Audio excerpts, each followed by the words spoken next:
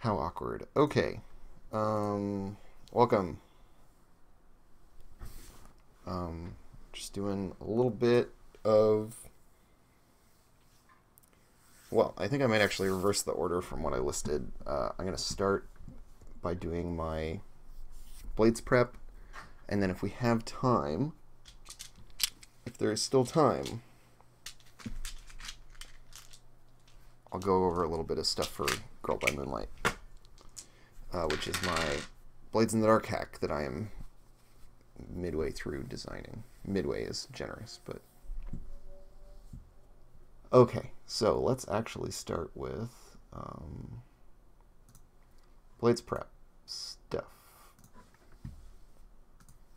Um, so uh, I just wanted to show kind of the behind the scenes stuff for uh, for blades and show like what my prep looks like and how all that functions. Um, so, I mean, here's our, our clocks page that we're used to seeing. Um, but then I also have in my Roll20 thing or do here. I also have my, my GM clocks, uh, which only I get to see. Um, and some stuff has resolved as of last week's episode. So this is the inspectors. They had a clock to gather enough evidence to put Rubix away, which they did, but then Crow took the fall. So this one is done. Um,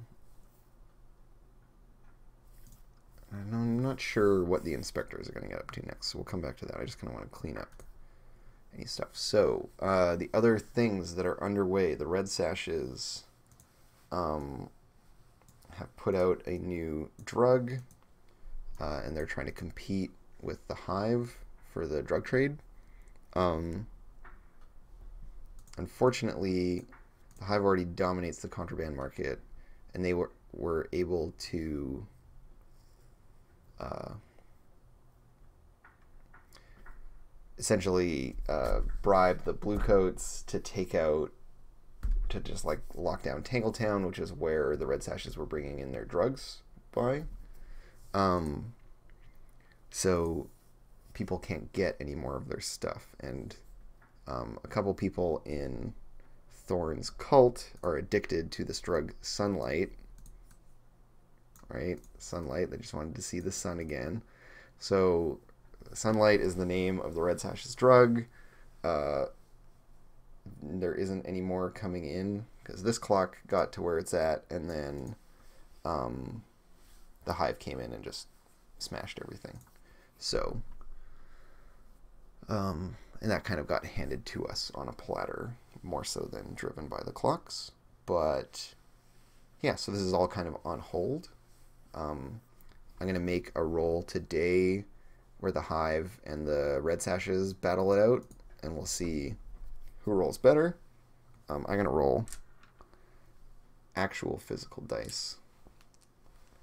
Um, Gypsy, and this is regarding the Distracted Elf campaign. Uh, so yeah, this is happening tonight at 6 o'clock Pacific.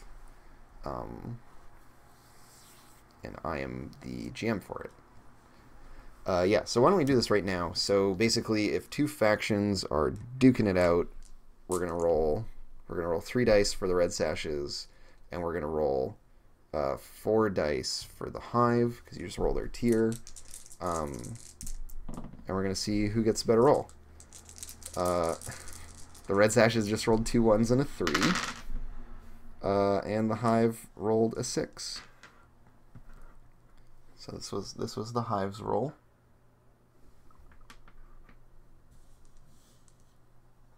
And the red sashes just rolled a three and two ones. So that means that the hive have the upper hand. Um, they've already accomplished this. Let me just do some more bookkeeping. Um, So essentially, the red sashes aren't able to open up a new channel. I think the hive is going to keep that all buttoned up. Um, and they're going to start working on their next big thing. And so let's take a look if we've got anything for the hive. So this is my big like NPC list, which I inherited from Sean, because uh, he was running for those of you who aren't aware. Uh, Sean was running the game for season one, and then I am the GM now for season two. So my characters have all buggered off. Uh, Sean's brought in some characters, uh, and so now I get to be in charge of stuff. Um, and so for the Hive, we've got currently controls the wholesale side of the drug trade in Duskwall, working to consolidate that power before taking on bigger fish. Um, so these, these are all my notes about them. So operate through various proxies and handlers. Top ranks are squeaky clean and have others who handle the rough elements. Uh, they operate via like these are like locations that they have. So they have businesses, warehouses, storefronts. Um, Ashlyn is a hive handler who has the Firebirds as part of her portfolio. Um, she leads a double life as a dancer. This was all like I rolled this stuff up in the tables and whatnot. It was pretty fun. So she she has a secret side where she cuts loose, but I don't know if they'll ever find out about it. Um, and then it's just some like notes for me about how I portrayed them. I need to include like accents and other stuff just so that I can remember. Um, and so maybe what the hive is doing will be a hook for the Firebirds, and that could be like a job that they get offered. Um, but we need to decide what that is. Because um, right now we don't have a strong agenda for them. I just noted that they wanted to take on bigger stuff. So what we can do is look at the factions. Um, and this is our like living document with all the updates. So the crows and the lampblacks are gone. Um, the hive is tier four. They have stronghold, and they are friendly with the crew. Um, the red sashes are now negative one. They're tier three stronghold, so they're trying to. The sashes are trying to make their play to grow up into being a tier four faction, and the hive is trying to keep them in their place. And now, having done that, the hive wants to start tangling with other big factions, um, or maybe pick on some small ones. Is the other thing. So maybe maybe they're having conflict with some organi- an organization like the Billhooks or the Grinders. Um, grinders, Billhooks, tier twos. Um, although that might be a little too small for them to be messing with. We're kind of running low on tier three organizations um, that have been introduced, right? Because the only ones that we've actually seen in the game so far are the Hive, Circle of Flame, very briefly, uh, Red Sashes, the Crows, and the Lampblacks. Uh, the Wraiths have been around. Ulf Ironborn has been around. But the Wraiths and Ulf, so the Wraiths already work for the Hive. Uh, Ulf has kind of been subsumed into the like Workers' Revolt. Um, I mean, the Workers' Revolt could be a good place for us to go. Um, right? Maybe the Hive starts meddling with the Workers' Revolt. I think that would be good, given that our crew is now set up in the docks. They're in a position to make strikes against them, and they have already gotten entangled with them a little bit. So I think that might be interesting. Yeah, I like I like I like that you can have nested stuff like this, like someone's pointing out in chat, where um, both the Firebirds and the Wraiths work for the Hive, the Hive likes the Firebirds and probably likes the Wraiths, but the Wraiths hate the Firebirds. so, you know, sometimes you have, you know, vaguely aligned interests. And this came up in a previous session, too, where um, Arquo from the Wraiths was just like, yo, it doesn't matter that you beat me in a duel because the Hive is going to think you're a bunch of idiots and stop giving a shit about you. Um, and we're going to take all your jobs. Uh, so that's definitely a thing. So maybe, and I think I think the collectivist revolution definitely messes with the Hive's jam because they were bringing through a lot of both legitimate and illicit trade through the docks, and now that the docks have been locked down, yeah, it totally makes sense for the hive to get involved. And this is also good because it it forces together different uh, interests within the crew. Um, so, the hive's new project is going to be to um, stabilize the docks district using whatever means works best. Either placate the workers or use violence. Um, and so they're going to kind of try different stuff. As this clock progresses, it's going to go from, uh, in the early stages, we'll be assigning jobs to our various people that are about trying to like solve things diplomatically. Uh, and then towards the end, we'll start getting into violence. I mean, I say diplomatically, but like scare them into stopping and then like murder all of them. Um, and we'll keep it a six count. I think this is fine. Um, and so, given that the Hive rolled a six on their thing, I'm going to give them a couple pips.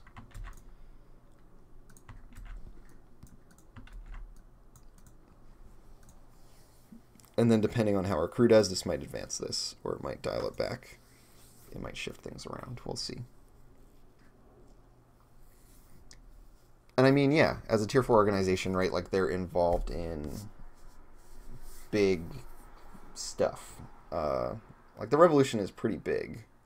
Uh, it's gonna it's on the verge of becoming a tier three organization.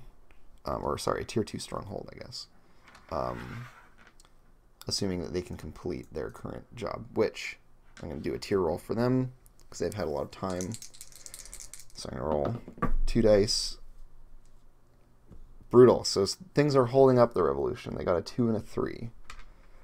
Um, so that's only enough to get them one pip.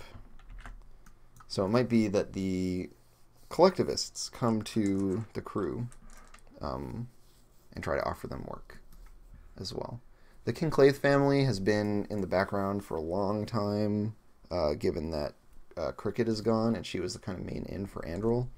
But we'll see if they just finish up doing what they're doing. Yeah, so I got a 5 and a 3 for the Kinclaith family. So they're going to finish covering up their involvement uh, with the Foghounds. And then I think they're just going to fade from our attention. This was basically like the last of their sketchy uh, activities following the death of Andrel's father. Um, and this was like baggage from that, which is now resolved. Um, the Spirit Wardens have been hard at work, so we're going to do a tier, tier roll for them with three dice.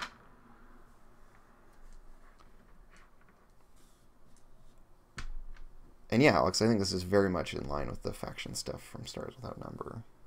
Also a sandbox game. So there's a 4, 5, and a 6 uh, for the Spirit Wardens. So the way I've been doing this is if they if the number of pips they get, they can divide it among these two tasks. Um, but they actually get to complete both today. So this one of constructing stronger towers, this is mostly like a happening in the background for flavor kind of thing. Um, and the tidying up of Crow's Foot, I think it's really appropriate that this happen uh, as the crew is kind of leaving. Um, and the, so these kind of, yeah, these are like bigger picture things. The one that really matters directly to the crew is going to be this one. And this is where Cross, uh, Cross is going to come find them, essentially. Uh, maybe as a follow-up to their next operation that they run. Because I want to give them a chance to do something uh, on their own and not be stuck reacting again. Um, but both of these are done. Um, and I can just delete this whole thing, basically. And I'll just add this to completed tasks. We'll think of something new for them to do uh, next time. I think they're gonna they're gonna chill for a minute. Um, and the circle of flame acquiring their full set of Kotar artifacts. They got a 2, a 3, and a 5. Let's see if I can get good light on that. There we go. Um, so they're done, and some consequence of this will happen. Um, I have some open questions about this. So, um, down at the bottom here, I have my questions. So these are things that I'm looking to answer. Uh, will the Hive find out that Rubix knows about Rorik's death? Because the leader of the Hive and Rorik were a thing together. Um, will the crew take side in the workers' result, revolt? This hasn't happened yet, but they're starting to get entangled with it. Um, and so I think I think we want to push towards an answer to this question today. I really want to highlight this. Um, which faction silently backs the revolution? Well, we know it's not the Hive now.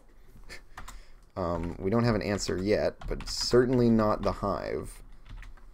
Because um, they're going to try to tear it down, essentially.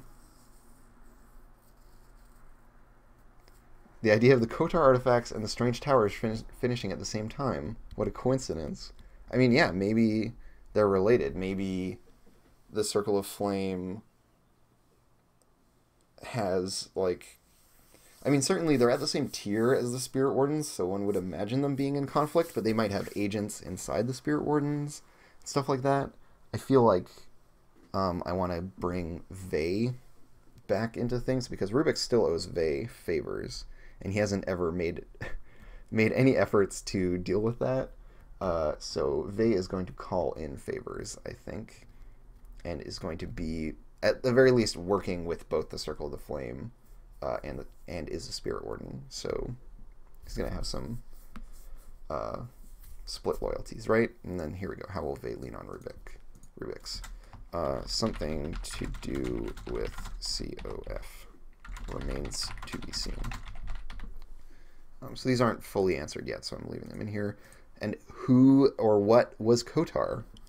Right? It's uh, it's not fully. It's in it's in the like little faction blurb for the Circle of Flame, um, but it's not very clearly defined.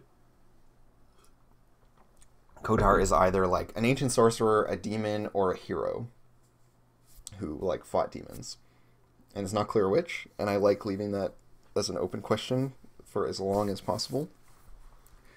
Uh, what gives fellows paintings their magic? We don't know.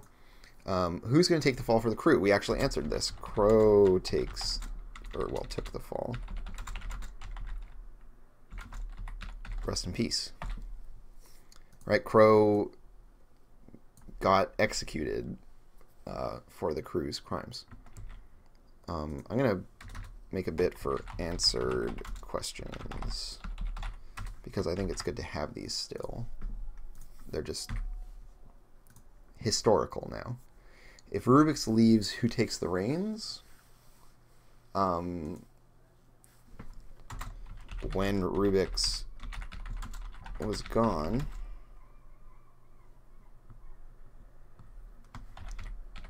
Thorn sort of formed a cult. like this is still this question is still open, but there's like some hints at what the answer might be. Um, because in the last session, Rubix wasn't around. Uh, Thorn started getting all out of hand. Um, Birch started making plays against Thorn.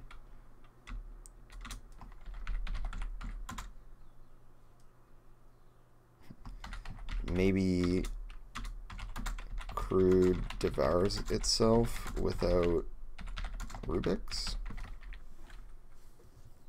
It seems like there are lots of people at cross purposes within the crew, and then Rubix is kind of the iron fist holding everything together. Um, so maybe without him, it will all kind of go to shit. Uh, will a faction help the birds out with the cops? Um, so who has offered to help them with this problem so far? Satara has offered. Um,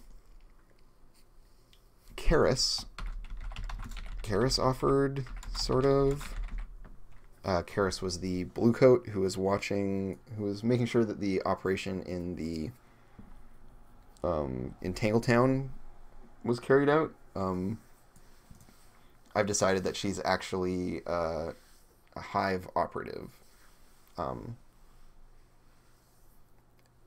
and so also, I mean, the hive, the hive absolutely offered, but Firebirds fucked up and lost the chance. So like various people have offered to help them out with the blue coats and the inspectors, but um, will anyone offer sacrifices sacrifices to Satara? Um, Thorn is forming a cult. Surely that will lead to some. Right? But we still don't know. We haven't gotten to the point where there's been an actual ritual carried out. Um, I think I've got to push Elf to start a project to like make a ritual once she has a cult. Um, and then she can develop a ritual. We can go through the whole rules for making that, which are interesting and then we'll see if the ritual requires some kind of sacrifice, and then we'll see what it is and whether or not Thorn is willing to go through it. Uh, hey, Retributor, how's it going? Um, so we got some new questions. We have answered one of them. Um, and I'm pretty sure. So I had paper notes originally, and I'm pretty sure I've fully transcribed yeah, I transcribed all of my unanswered questions from this sheet. Um, but just a quick review. So we've got our cult heading now with Morlin, Caro, Frog, and Ogre. Um, we have Bricks. I think Bricks I'm going to move into this area. He's going to end up here for sure uh, once the cult forms. Um, and I think he's been like peripherally involved, and that's part of why he was super into Thorn. Um, Thorn has now had a vision of these two characters. So there's Morlane Colburn, aka Grip, who is the uh, she's kind of like the main theorist for the revolution. Um, and uh, yeah, so reconciled spirits are behind communism in Duskwall.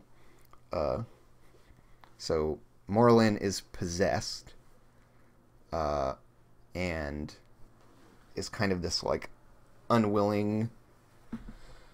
Like I think she wanted to be strictly a theorist, but that the spirit that is possessing her is kind of pushing her into a position of leadership that she doesn't want, and also like puppeteering her at times. Um, Drav uh, is the like militant arm of the revolution, uh, and was the other person seen in the vision, the like small Iruvian, uh, and they are just like a hardline murderer, you know, like they have the potential to be the Stalin of this revolution.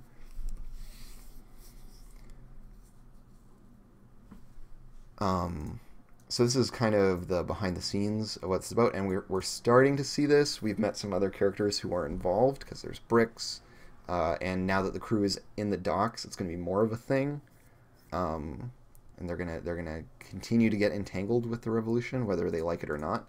Um, they just need to pick a side. Uh,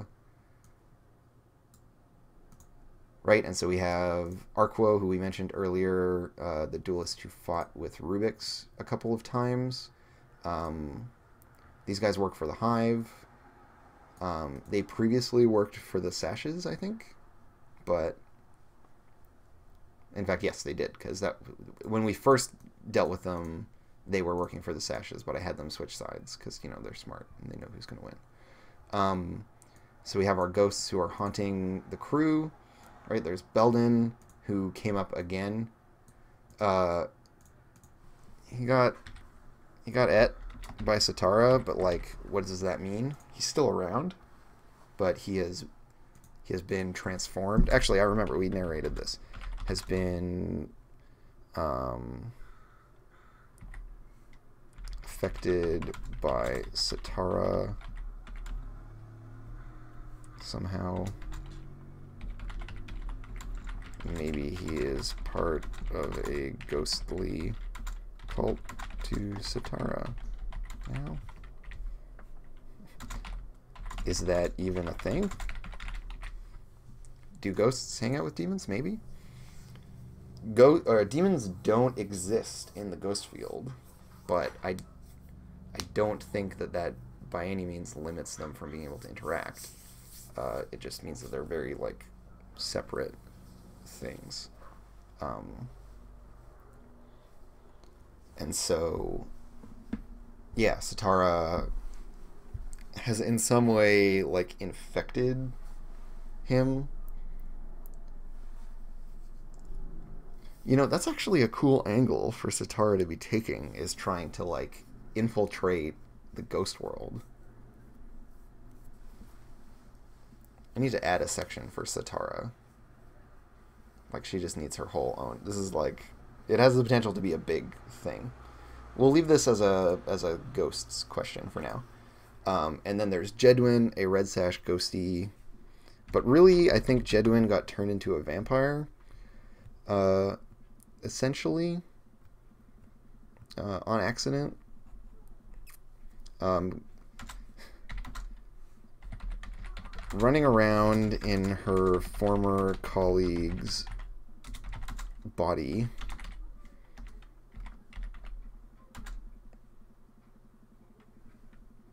Yeah, hunting Thorn.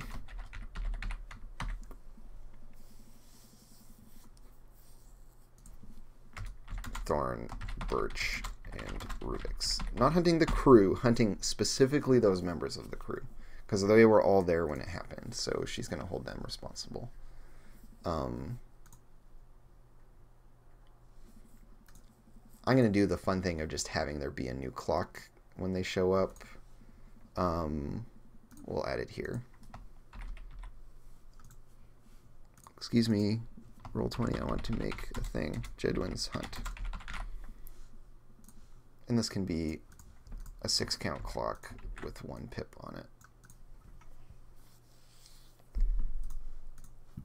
yeah, and like having Satara be trying to make plays into the ghost stuff uh, is a nice lead in to having the revolution be sponsored by ghosts. Um, I don't have them as their own section right now because it's it's like a couple of reconciled spirits are involved. I think the faction isn't especially interested yet, um, but if this little project by Moon, and I think there are probably a couple others.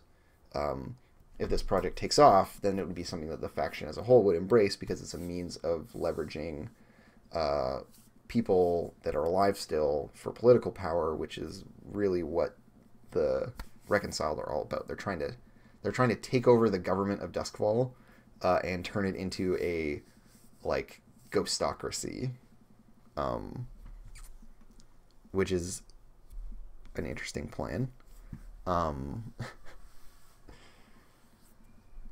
and so that's happening like very far in the background right now where the crew is not nearly big enough to be involved in that stuff but what they can be involved with is this like smaller thing um,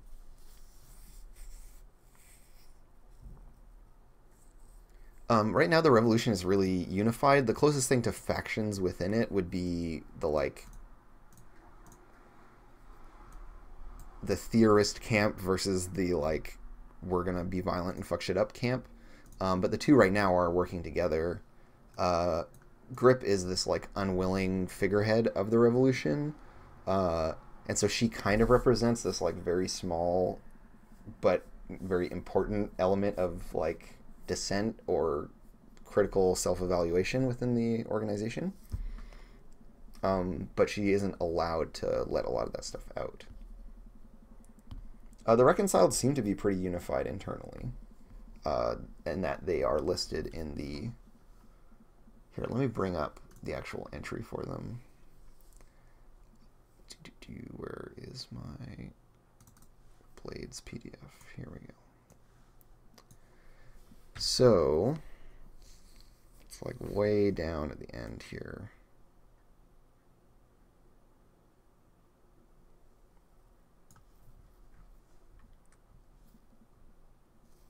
Um, where are the reconciled?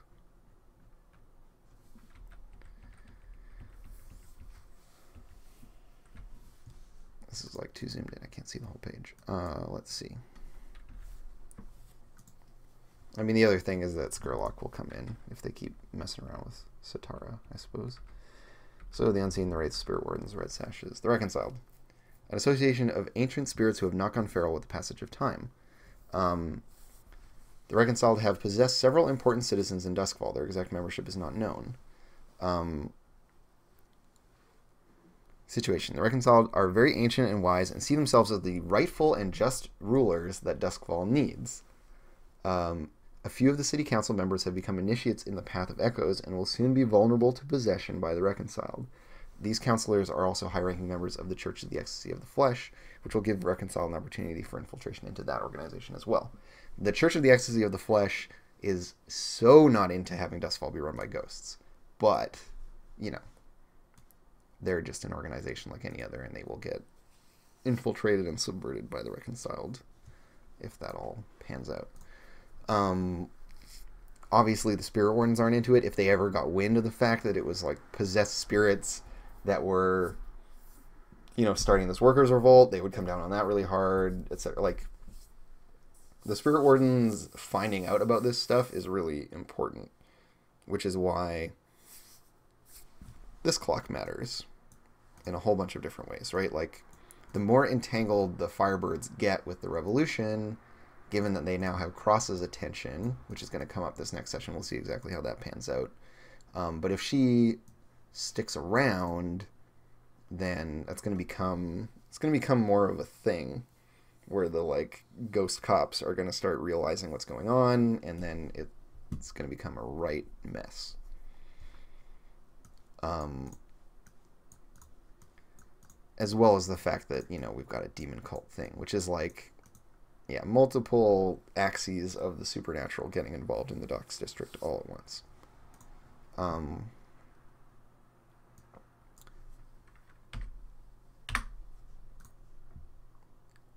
and so, uh, I have my little to-do list here as well. So, uh, the Spirit Wardens have quarantined something, which is to say the old crew hideout has been totally locked down by the Spirit Wardens. Um, the inspectors did their raid. So that's resolved. Um, I want to offer them a score for the Circle of Flame. So now is a good time, given that they have all the Kotar artifacts. It might be that something needs to happen relating to that. Um, and I need to show the consequences of the Spirit Wardens stuff that they've been doing. Right? This the resolution of all of these things uh, we need to see that on, on screen. Um, there is still time for the collectivists to get involved uh, by way of entanglements and stuff in this session, but I think we're gonna. I don't know. We'll see if the crew have like specific things they want to do, but I'm going to try to offer them some profitable jobs, both for the Hive and the Circle of Flame seems like those folks are the best positioned to give them work.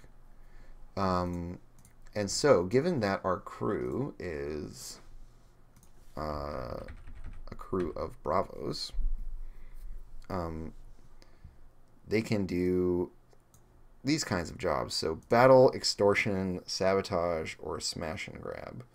Um, and so we have to ask ourselves what among those are things that the hive and the circle flame would want.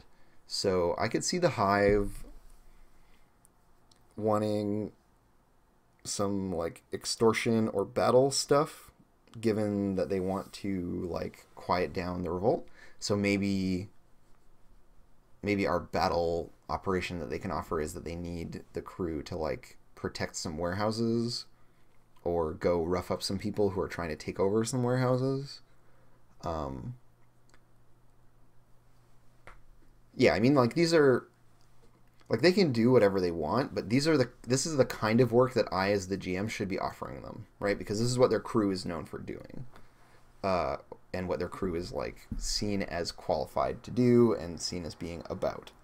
Um, they can just go do social jobs all they want, but it's like not in line with their crew type. Um, and I want to be, you know, like these are these are hints to me as well as to the players of like do this kind of shit. Uh, so I'm going to try to stay on brand and offer them this stuff. Um, so yeah, there's like a pretty clear like battle type of work around just like fighting people in the docks on behalf of the hive. Um, for the Circle of Flame, uh, I think maybe it'll be like a smash and grab where um, someone has like absconded with one of the artifacts of Kotar and they need it retrieved. Um, and then it's just a matter of like sending in a bunch of toughs to get it. Um,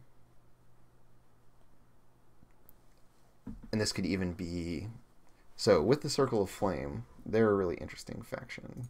They've got some cool stuff going on. Let's look at them real quick. So, well, here's the Hive very briefly. Um,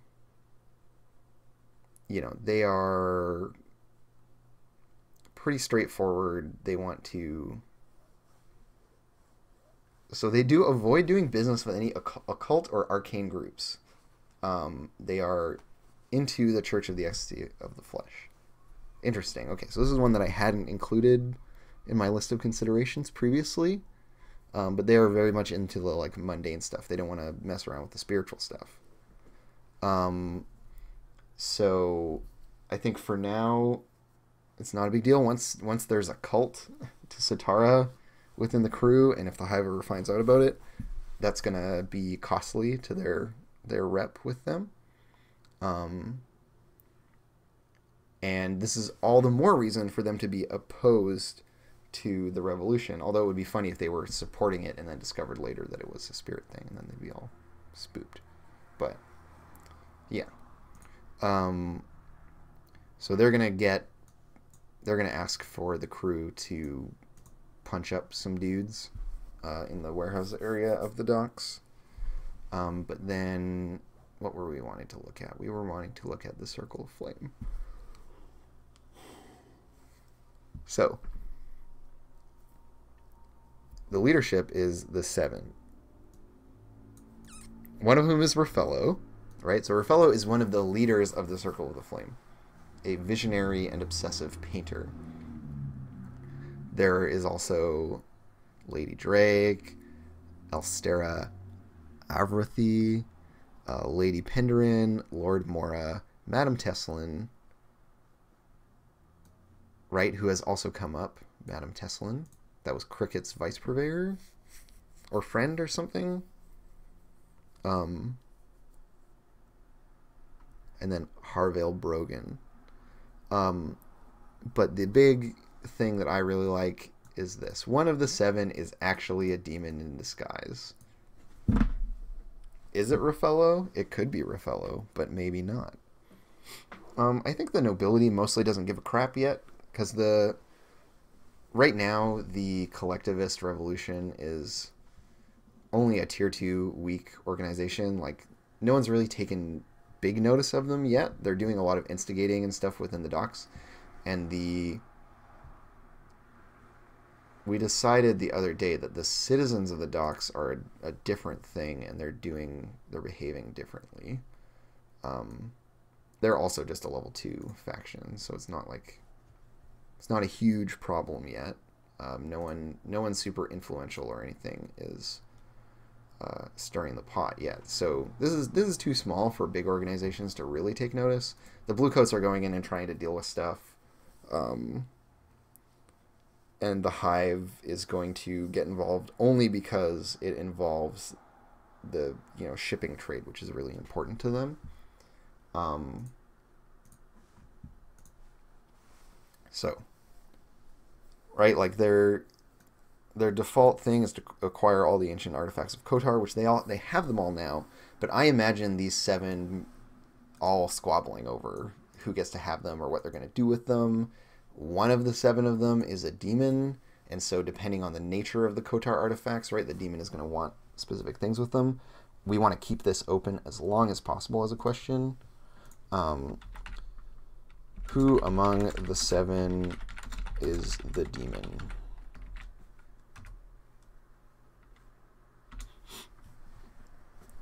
One day we'll find out, right? Because Kotar is a legendary sorcerer, demon, or hero who is mummified before the cataclysm. Um, the eye, the hand, and the heart of Kotar are said to possess great power for those who hold.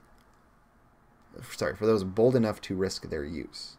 Um, so maybe we'll have it be. Have it be like the hand of Kotar, um, which someone has run off with. And so Raffello is going to offer a job against one of these other one of the other seven. They're going to start squabbling now that they have this thing, um, and so Raffello is going to try to hire the uh, the Firebirds to go like rough up someone and take their stuff. Um,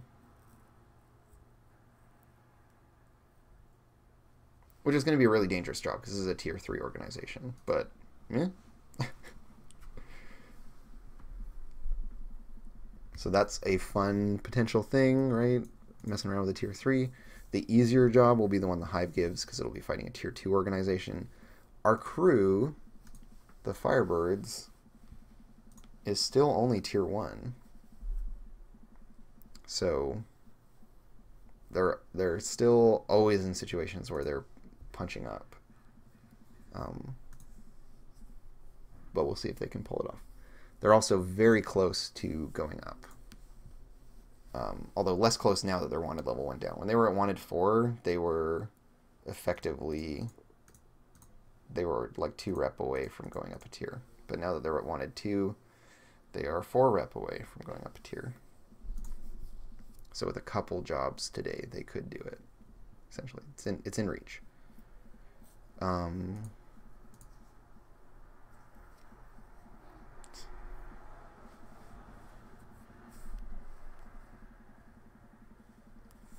It's always fun to give the crew a super powerful artifact they don't know how to use and see what happens. Yes, absolutely.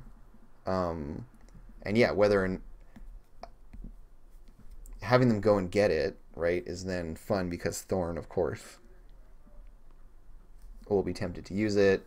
Um, Setarra would want it, obviously. Uh, and maybe that's something that she can sacrifice to Setarra, and we can get an answer to our question right? Of like, will will anyone offer sacrifices to Setarra? Um, I feel like ultimately Thorn is going to give herself up to the demon. That's kind of the direction that Elf seems to be taking the character. So we'll see. We'll see what happens with that. But this is enough to run with for today, I think.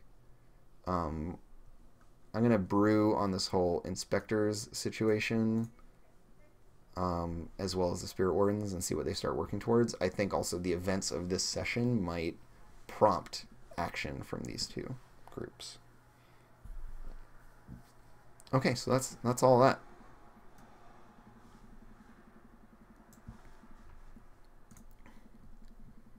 Are there any outstanding notable things?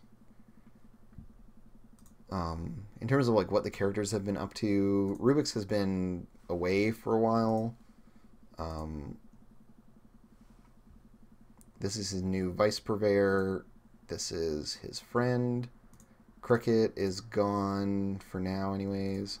Birch has been hunting around town for people with Celene, his friend, um, looking for a demonologist of some kind.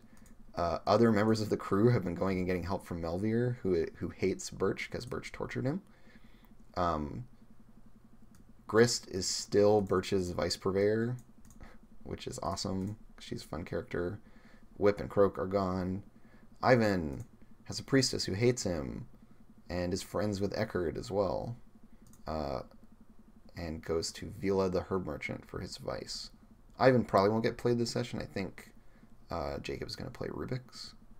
Um, and then we have Needle, Dr. Steven, uh, Milos, um, Melvir. I don't need to have here. We already have him in there. Um, Thorn's friend Setarra, yes. Quellyn hasn't come up yet, but surely will soon enough. And the Hooded Proprietor has been all over the place. Uh, Crow. Rip. Crow is dead. Um, Bryl never came up. Harker came up very briefly. Um, yeah.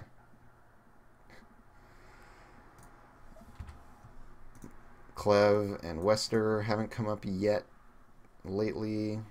We've kind of moved away from directly engaging with them. And now that they're out of Crow's Foot, I think the sashes are going to come up less and less. Um, for now. Until they start to expand.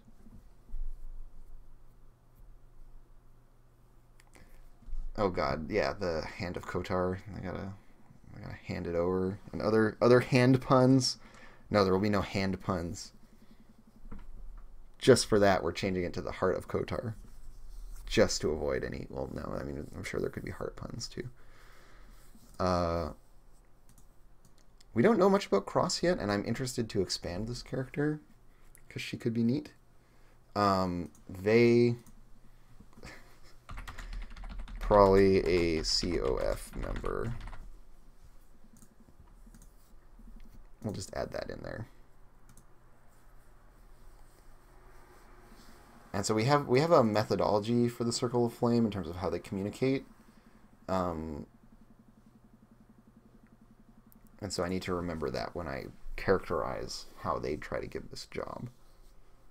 Um, I think Raffello kind of wants to keep his distance from Rubix for a while yet, so he won't come and meet directly. It'll be they'll get like letters uh, with fancy seals on them, um, delivered by like a member of the ciphers or a gondolier or something. Um, this is a description I inherited from Sean, so yeah, we'll see exactly what Raffaello's deal is. Um, we need to add for Pritchard has a vendetta against Rubix, like so many others. In Duskwall.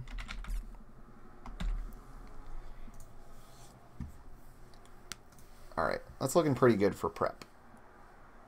Um, so, very briefly, an update for those of you who haven't been following this, so I'm working on Girl by Moonlight, my magical girl anime, Blades in the Dark, Blades in the Dark hack. Got through it. Um, this is kind of where I'm at right now. Uh, nearly at a happy point with character sheet stuff. Um, there are a couple more elements that I need to work into the layout. Um, right, I have my little to-do list here. Um, I think for this, I've decided I don't really, really want this. So probably cut. Uh, we're not going to have equipment rules, I don't think. I think we're going to get rid of that entirely. Fiction, interrogation, section, content, and placement is done.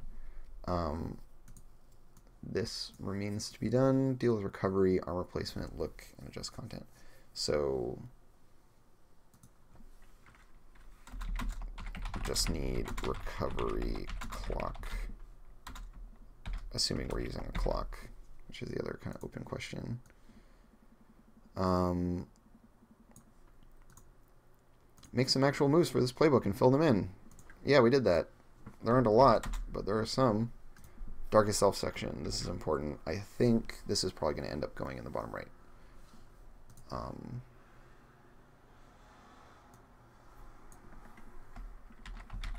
darkness. Um, oops. And I think this will probably be like this corner, kind of like that. Yeah, I feel like it's just a little bit like it makes obviously it makes sense in blades because like doing heists and and you know the period and everything like all the like combat stuff it all it all makes lots of sense to have gear but you can see even in that like even in blades there are some of the playbooks where it's like the gear is kind of um like they get the generic options which are yeah sure always great and then their specific stuff is like you get a bottle of whiskey? You know, like I'm not saying it's a weak choice, but just that um it's like even in that game some of the playbooks don't really need like equipment equipment uh and I just I don't I don't see it being enough of a genre element for uh, magical girl stuff.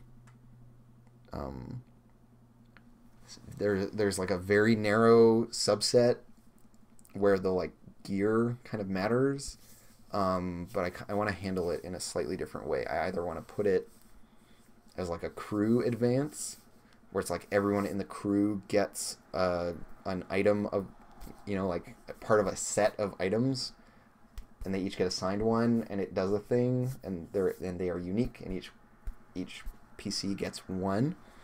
Um, an option like that, uh, which you know could could do like a Crystal Gems kind of a thing, or like a Mystical Knights Rayearth kind of thing. Uh, and then beyond that, I don't really see the place of gear in the game. So then we can make more room for other more personal stuff on the on the playbook.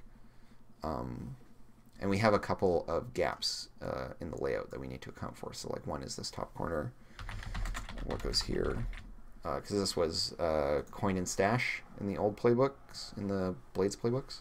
Um, so we might want to like move some stuff around in order to place things correctly. I corners are weird. Like they're a nice place to put very particular types of elements. Um, I don't know if I want to like just take everything and move it up uh, necessarily. I kind of like keeping the moves and the actions kind of at a level here. So then you want like some small element to go in the corner. Um, but we'll see what that is. Maybe I move this like pushing yourself stuff up there, although it's nice to have it follow this stuff.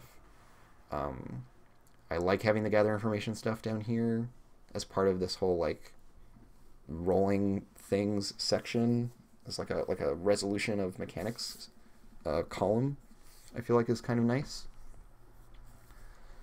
Uh, yeah, so we'll figure out something to go there.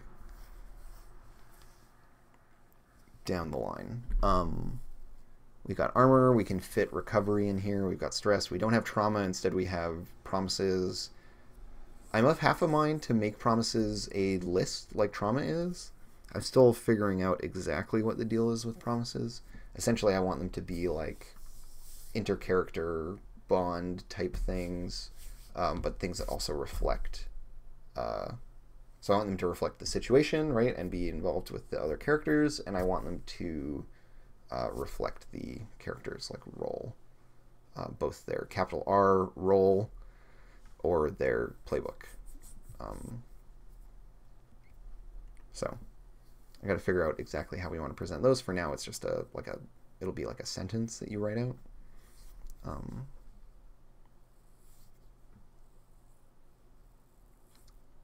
Hmm. Player agenda principles. I like that. I'm, I think that is a smart suggestion. Player agenda section? Question mark.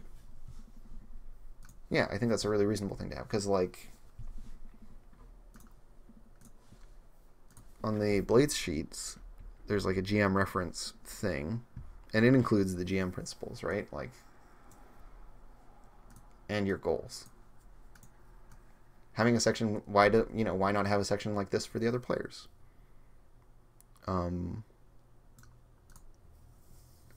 because you know this this is the equivalent of their actions that they all have ratings in right of the like you know skirmish, attune, etc. Right? That's that's the equivalent for this. Um, there's a lot more rule stuff on the GM sheet because they the GM has the pressure of like being the interpreter, adjudicator of the rules in a Blades style game. So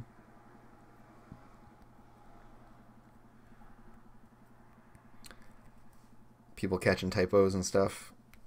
Excellent. I have a crack team of editors. Um, so yeah, like why not? Why not have a principles or goals section for players? I think that's very reasonable. Um, yes, you can always ask. Uh, so I'm starting to figure out some identity stuff for the Guardian um, as being a very like paladin kind of playbook. Um, so they have the Hound move where they can reduce the penalties from harm. Uh, they have kind of like the body something similar to the bodyguard move uh, slash armor uh, from uh, the cutter kind of, um, and then something similar to like a leech move here with the giving extra die to injury recovery. However, injury recovery is different in my game because it's going to be you don't recover your own stuff, you can only help other people recover. Uh, and so the guardian is going to be really good at that, but they also need other people to help them recover when they're soaking lots of damage. Um, so they have to, you know, find that where they can. Um, the other thing I could do is actually, I really like this. Okay, rather than getting an additional die, when you help someone recover from injury, you also recover. So essentially, when they help someone else recover, they get to recover for free. Which is very strong, but whatever. We're just going to do it. We're just going to do it. I think that is cool. Um, I can scale it back to like you recover as if you hit it on the lowest roll, so you get like one one slice for free uh, whenever you help someone. Need the croak rate on send to allow group recover. I mean, there probably will be some stuff like that. Um,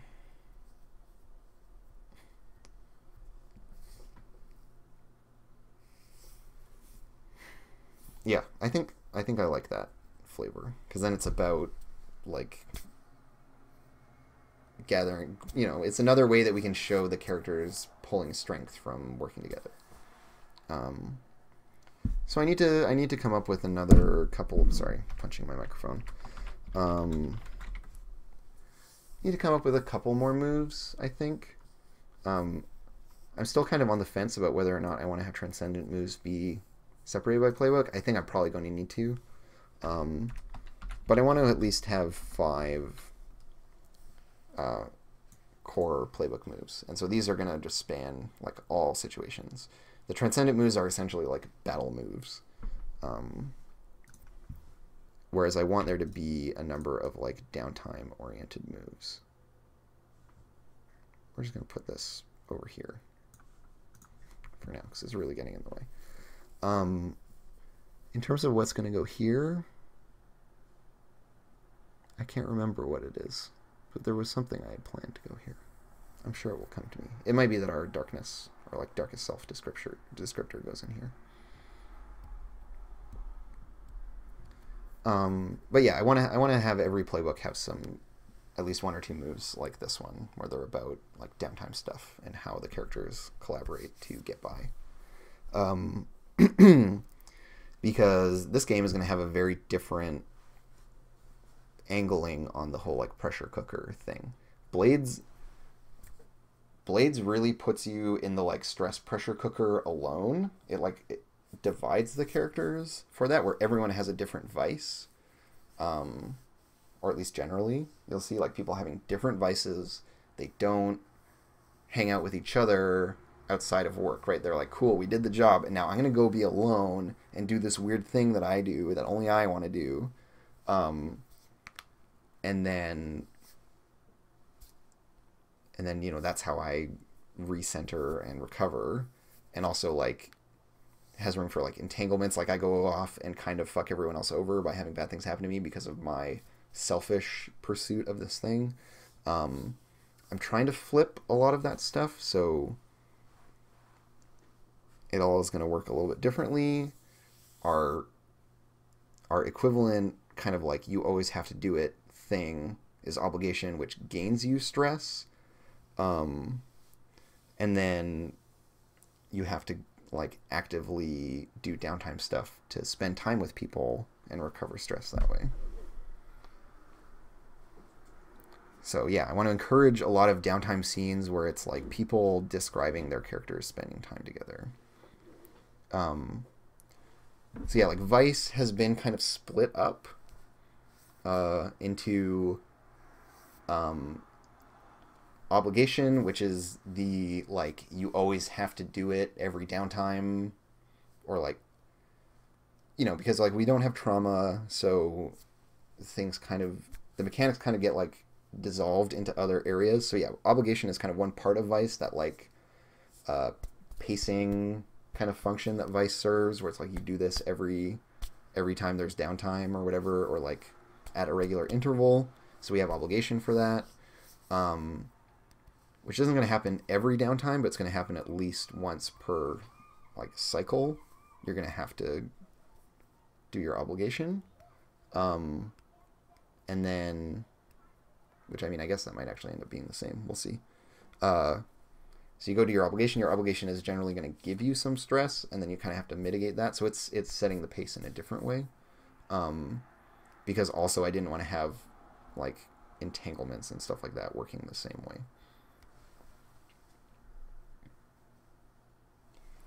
Um, so every single downtime action, like the recovery one and all this kind of stuff, um, are going to be like like I can't heal my own wounds, I can heal your wounds, and then you have to heal my wounds. Like they're going to be more about doing things for other people um, rather than doing things selfishly. Um, and so that is how I'm going to just like force the players to do stuff together. Um,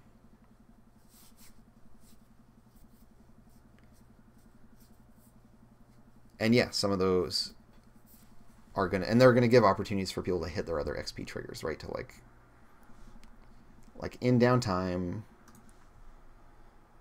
we are going to do this stuff. I'm drawing with white. That's not very helpful. Let's draw with red. Right, we're going to be able to do this bit of expressing your beliefs, drives, goal, or background. Um, and you're going to maybe be able to fulfill the requirements of your promise if your promise is about like protecting your friends or helping heal people or what have you. Um, so there are opportunities for the players to pursue these kind of XP triggers directly.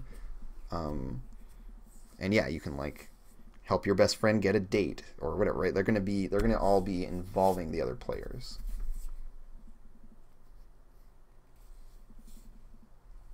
And yeah, obviously you you're going to generate links in downtime as well. Um, there, anytime you roll like a crit on doing any of these other things, like helping someone heal or whatever, you'll get links for free, and then there will be ways that you can pursue getting links. Um, is the plan right now, and links are like a resource that you want to build up. Um, and we'll we'll see how that economy plays out, but there you know there are going to be various ways that you get these. Um, and these are credits that you spend uh, in the fighting phase to get stuff. And then they all kind of. I'm not sure if they all reset or not uh, from episode to episode. I think they probably will. I don't like the idea of people banking a shitload of them. Um, or being overly precious with them. I want to encourage people to spend them. And also, I don't want to. I want to be pretty stingy with them. So, we'll see. Uh, and I mean, I say force the players. It's not like they're gonna feel bad about doing this stuff. Hopefully, that's the idea, right? Is to make them, is to give them good reasons to do it, uh, because you know of the mechanics. But then the reason that you, as the designer, are are wanting them to do that is for this other thing, which is to get an experience. Yeah, I don't, I don't like that aspect of. Uh, I don't want to let players just like sit on resources forever. Um, I want to encourage a more fluid economy um, in terms of links and stuff like that. Uh, also, it my other like bullshit get out of this uh, answer is that we are evoking an episodic format where at the end of the episode, very little carries forward, and then we go on to the new episode, and it's a new day, and we just start all over. Um, we'll see. We'll see how that works out in play. I'm I'm not committing to you know. All all this is changeable. Okay, but anyways, this is this is where I'm at right now with this. For those that are curious, um, I'm going to keep working on it throughout the week and do a bigger dev session on Friday. Um, I didn't get as much time to work on this this morning as I was hoping for. I kind of just like faffed about and tried to make up a bunch of moves, scrapped them all, and ended up only liking uh, this recovery one, um, which we even made a small edit to just now. So uh, that's where I'm at. I'm going to take a little break uh, before the show, which starts in about an hour. Um, so that's Blades in the Dark on Distracted Elf's channel. Uh, I highly recommend you come check it out. Um, we were going through, that's what we were doing all the prep for just now. Um, so you can check that out uh, at 6 o'clock Pacific on Distracted Elf. Uh, Twitch.tv slash Distracted Elf. Come watch it. Uh, you probably already know where to find me, so I won't bother doing a shout out of myself. But I'll see you all in an hour, hopefully. Bye, friends.